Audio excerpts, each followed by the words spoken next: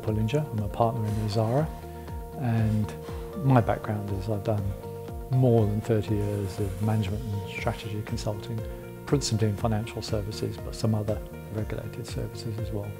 And I've worked around the world for um, global companies and small companies. Ozara Services is established in the AIFC to help Kazakh companies grow and mature and have access to the privileges and conditions of the AIFC and understand what, how they can operate with gaining foreign direct investment through the AIFC to grow their businesses. And that's across all industry sectors. Principally, um, we've been helping financial services firms to date, but actually um, we're also helping agriculture, oil and gas and mining to take advantage of the conditions.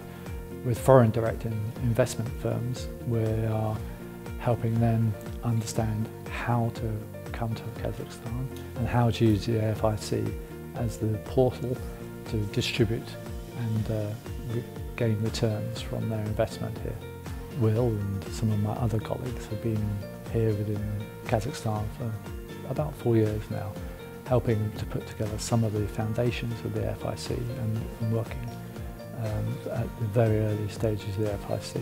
And we formed Ozara Services two years ago at the beginning of 2018. We all have a background in financial services, regulation, structured financing deals.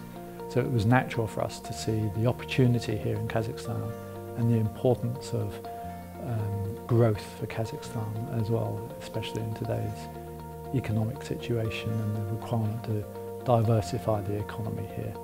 And the AIFC being established by the government enabled uh, a, a step change potential.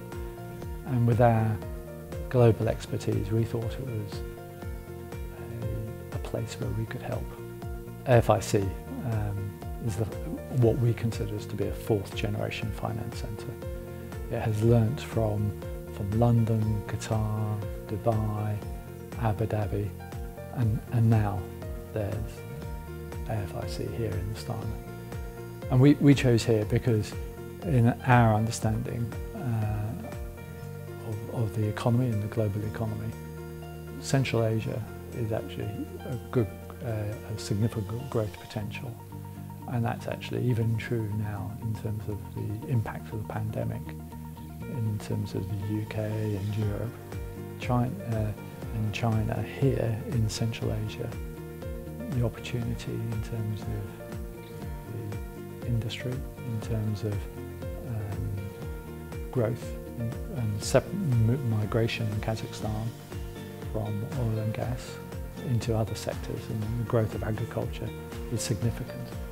And I think that's um, being supported by Asian Development Bank, ADB, and the World Development Bank looking to seek to grow and increase their investments in Kazakhstan and the surrounding areas.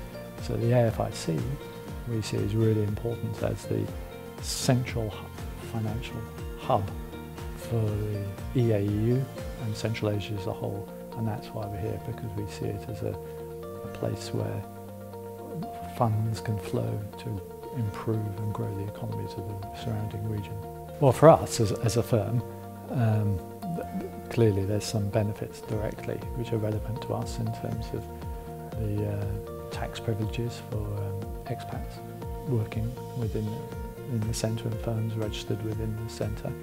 But actually how we approach all our work with our clients is to understand what their strategy is, what their rationale is to, to come here to the centre and we align their plans and their thinking to the opportunity which the privileges and conditions of the FIC offer and that can be how to take advantage of um, dividend distribution, i.e. profit distribution to, to themselves or to their partners if it's a JV or how they can use the AIX to raise capital um, not only within Tenge but in other currencies too.